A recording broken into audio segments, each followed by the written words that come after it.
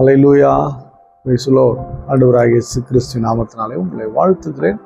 கர்த்தர் உங்களை ஆசீர்வதிப்பாரார் இன்றைய நாள் மெய்ப்பனின் சத்தம். ஆதியாகமத்தின் புஸ்தகம் முப்பத்தி ஒன்பதாம் அதிகாரம் ஆறாம் வசனத்திலும் பன்னிரெண்டாம் வசனம் வரலையும் படிங்க வீட்டில் நல்லா இருக்கும் அவங்க படித்தா. ஒன்பதாம் வசனத்தை நான் வாசிக்கிறேன். இந்த வீட்டில் என்னிலும் பெரியவன் இல்லை. நீ அவருடைய மனைவியாக இருக்கிறபடியால் உன்னை தவிர வேறொன்றையும் அவர் எனக்கு விலக்கி வைக்கவில்லை. இப்படி இருக்க நான் எப்படி? நான் இத்தனை பேரை பொல்லாங்குக்கு உடன்பட்டு தேவனுக்கு விரோதமாய் பாவம் செய்வது எப்படி? ஹலை லூயா இந்த பகுதியை நீ ஆறுலேருந்து பன்னெண்டு வரலையும் வாசிங்க. யோசோப்பை குறித்து அவனுடைய ஆமாம் யோசோப்பு மிக அழகானவன் என்று வேதம் சொல்கிறது. மிக அழகானவன். அந்த போத்திபாருடைய மனைவி அந்த எகிப்தியினுடைய மனைவி அவன் அவன் மீது கண் போட்டாள்.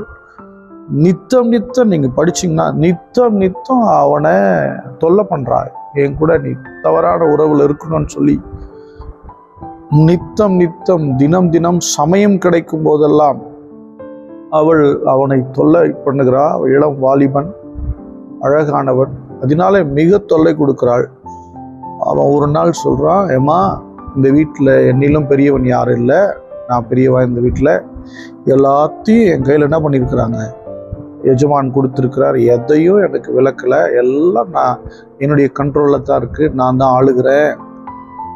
உன்னை தவிர அப்படின்னு சொல்கிறான் உன்னை மட்டும்தான் என்னை விலை விலைக்கு வச்சிருக்கார். வேறு எதுவும் இல்லை. அப்படின்னு சொல்லும்போது அவள் தொல்லை தாழ முடியவில்லை. ஒரு நாள் வஸ்திரத்தை பிடித்து அவன் அவன் கட்டியிருந்த வஸ்திரத்தை உரியிற அளவுக்கு அவளுக்கு வெறி கொண்டவள் ஆகி ஆகிவிட்டாள்.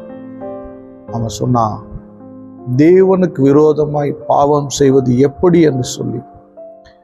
அவன் அந்த வஸ்திரத்தெல்லாம் உதறி போட்டு ஓடினான்னு சொல்லுகிறார் நமக்கு யோசப்பை போல என்ன ஆசிர்வதியும் அப்படின்னு சொல்கிறவங்க நிறைய நிறைய பேர் ஜோசப்னு பேர் வச்சுருப்பாங்க. ஆமாம் ஜோசப் மாதிரி ஒரு பிளஸ்ஸிங்காக மேன்மையாக இருக்கணும் அப்படின்னு. என் அன்பு தேவ் நல்லது தான் மேன்மை ஆசீர்வாதம் இட்ஸ் குட் பட் இடையில சில சோதனைகள் நமக்கு வரும். சில டெஸ்ட்டு சில பரீட்சைகள் விசுவாச பரீட்சைகள் பரிசுத்த பரீட்சைகள் நமக்கு வரும். இந்த பரிசுத்த பரீட்சையில் விசுவாச பரீட்சையில் நாம் ஜெயிச்சிட்டோம் அப்படின்னா மேன்மை தானாக வந்து ஆமாம் நம்ம வாழ்கிற இந்த பூமியில் இந்த உலகத்தில் நம்ம காலேஜுக்கு போகிற இடங்களில் வேலை செய்கிற இடத்துல தொழில் பண்ணுற இடத்துல ஏன் ஊழியங்களில் கூட உறவுகள் மத்தியில் கூட நம்மை சுற்றி மோசமான சூழ்நிலைகள் நிறைய இருக்குது. அவைகளை நம்ம தள்ளிட்டு நம்மளால் போக முடியல. ஆனால் அவைகளை தொடாமல் உதறிட்டு போக முடியும். அலையிலூயா சூழ்நிலைகள்லாம் தப்பாகவே இருக்கும். ஆனால் நீங்கள் தேவனுடைய பிள்ளை என்பதை எல்லா இடங்களிலேயும் விளங்க பண்ண வேண்டியது அவசியமாக இருக்குது. அலையிலூயா ஆமாம் நீங்கள் தானியலும் அவனுடைய நண்பர்களை நீங்கள் பார்க்கலாம்.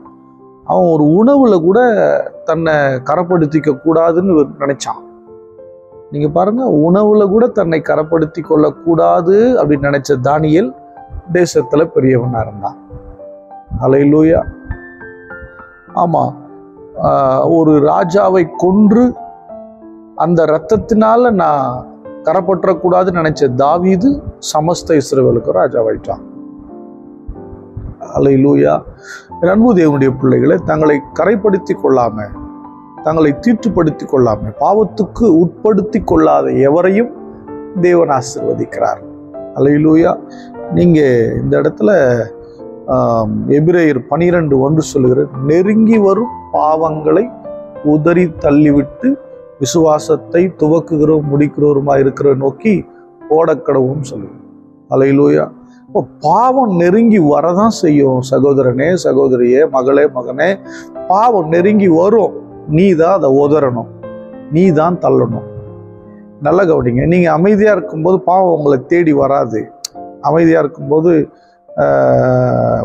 என்ன சொல்கிறது பாவத்தில் அது உங்களை ரொம்ப க்ளோஸாக இருக்கிற மாதிரிலாம் உங்களுக்கு தெரியாது. ஆனால் நீங்கள் எப்போ அதை விட்டு ஓடணும்னு நினைக்கிறீங்க அது உங்களை துரத்தும். ஏன்னா உங்களை திசை திருப்ப வேண்டும். நீங்கள் எந்த காரியத்தையும் கர்த்தருக்கு செய்யாத போது அது ஒன்றும் செய்யாது. நான் கர்த்தருக்குன்னு எதையாகிலும் செய்யணும் கர்த்தருக்குன்னு வாழணும். இல்லை நீங்கள் ஒரு தரிசனம் உள்ள மகன் தரிசனம் உள்ள மகள் நீங்கள் கர்த்தருக்கு பிரயோஜனமாக இருக்க போகிறீங்க கர்த்தருக்கு பயன்படும் பாத்திரமாக மாற போகிறேன்னா அவன் டார்கெட் பண்ணுவான். எப்படி ஆகிலும் இதை கெடுக்கணும்.